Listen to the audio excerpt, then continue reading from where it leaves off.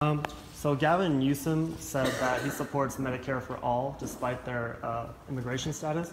I was just wondering if you supported that as well.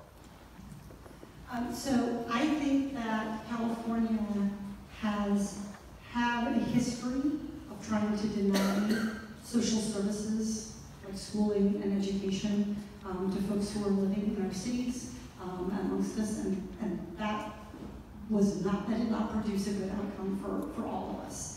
Um, and so I think we want to make sure that anyone living here um, is getting critical care. It's good for public health. It's good to make sure that um, everybody has a right to be treated fairly. Um, I think we have to work toward a healthcare system that is able to reach more people at a lower price point.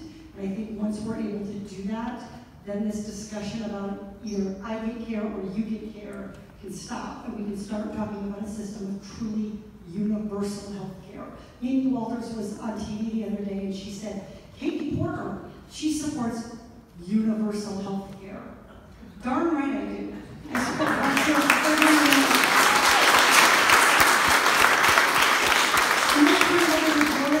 um, Megan, were you going to come say a few things about getting involved? No? Oh, sure. Well, Emily, you want to come do this? Yeah, and I'm introduce a little bit of my team while they're here. So um, this is Megan Smith, our deputy campaign manager. This is Emily Pollock, our field director. I'm happy to see everybody is sporting um, a really great logo shirt tonight.